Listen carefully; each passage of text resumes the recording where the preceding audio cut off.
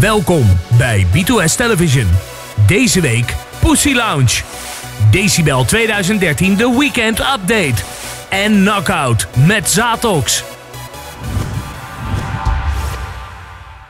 Aanstaande zaterdag zal het Pussy Lounge Circus weer neerstrijken in de Matrix in Nijmegen. Om alvast lekker in de Pussy Lounge sfeer te komen, zendt B2S Radio vanavond live sets uit van de afgelopen Pussy Lounge editie in Utrecht. Luisteren dus vanaf 8 uur op b2s.nl slash radio. Afgelopen vrijdag startte de voorverkoop van de Decibel weekendarrangementen. De vaste accommodaties zijn inmiddels volledig uitverkocht. Dus wil je nog een vol Decibel weekend beleven? Boek dan snel jouw kampeerplaats. Want ook deze gaan heel erg snel. De voorverkoop voor losse festivaltickets start op 11 mei. Zet hem vast in je agenda.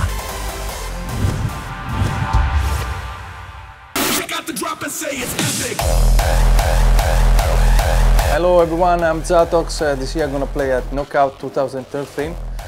Be there if you wanna see me, Knockout, Deep Block and SFR. It's my second time there. The first time was uh, the battle with uh, Tatanka.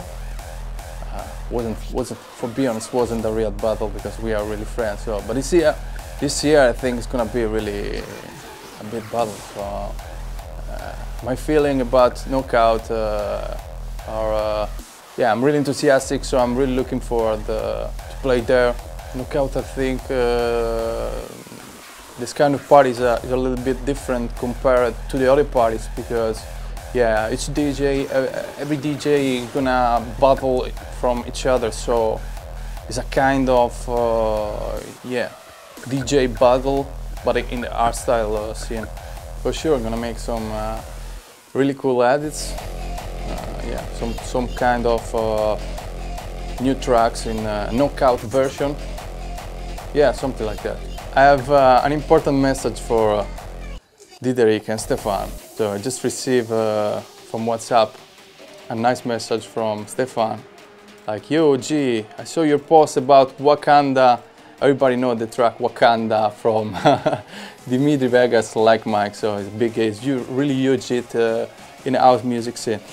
And uh, so this is the, the message from uh, Stefan, and uh, he told me, yeah, I saw your post about Wakanda because I post the Wakanda uh, track on my Twitter and my Facebook.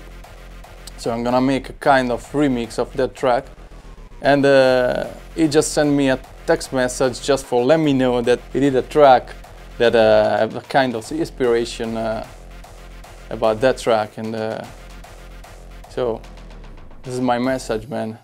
I don't give a fuck about your message. I'm gonna do it. Yeah i'm really looking forward uh, to play it, uh, the battle with them. And yeah of course uh, i'm gonna kick your ass guys. You know man listen to me listen to me. There's no way guys you have to stay home. Diderik, Stefan uh, say what you want motherfucker. I'm gonna kick your ass. That's all